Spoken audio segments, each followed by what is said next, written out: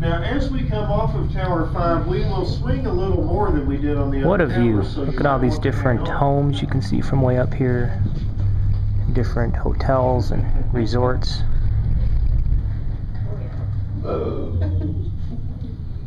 Thanks for the warning.